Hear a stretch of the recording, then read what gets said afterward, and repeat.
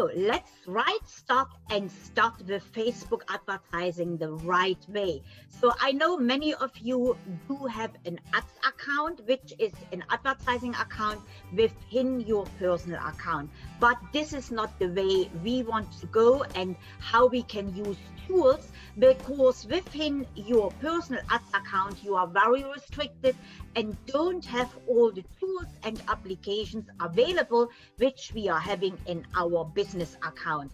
Our business manager account is a free tool Facebook provides us where we now have several options of um, managing our pages, our business pages, our ad accounts, our users. So, and we can use applications you cannot use within your uh, personal ads account, which by the way is one, and this is ManyChat or any um, uh, messenger but you cannot use with your personal account. You need a business account for it. So we want to start off the right way, and that's where we are starting today. We will start with creating our business manager account.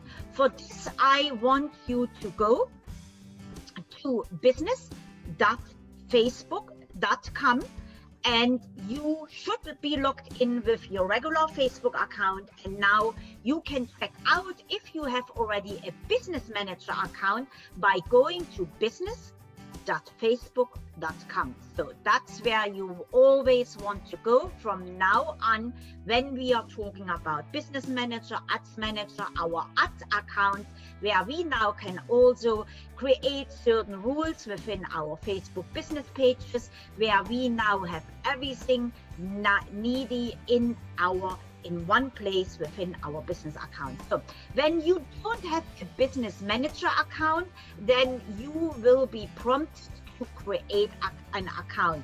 So creating an account is easy.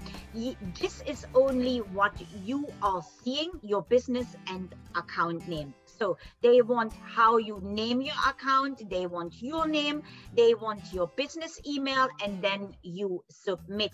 I cannot do it because Facebook restricts us to two business manager accounts within our business manager. So mine are already set up and uh, I will not uh, move forward. But go through step by step. They will ask you for your phone number, for your address. So put everything in and then simply submit and your business manager is uh, established and you will see it like this.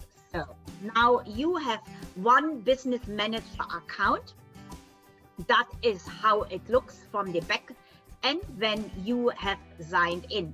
So here we do have uh, three because this is one of our clients, but you should at least see one box and now you have successful uh, set up your business manager account.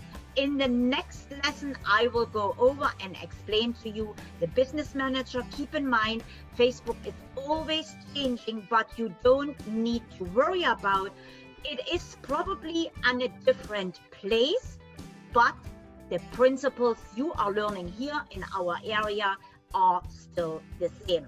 So today we have set up our Facebook Business Manager. Now we see our ads accounts in here, our business manager accounts, and now we are moving forward. And I, in the next video, I will show you how everything works, where you can find things, and how we are moving forward.